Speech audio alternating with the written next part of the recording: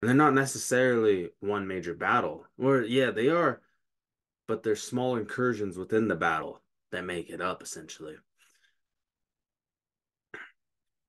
Now the war is being fought on many different fronts. Say if we're looking at the war in Ukraine, many different fronts are being fought upon, but there's areas that are being fought over.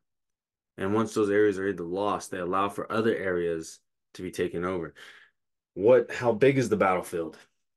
What does the battlefield look like? What battle does this if a battle lasts for one year, is it is that just a battle or is that a, is that just a war? So we got to kind of dissect some of these parts and analyze them and see what breaks apart because the synthesize, we got to really dig deep into some areas. Pitched battles are essentially control for this area.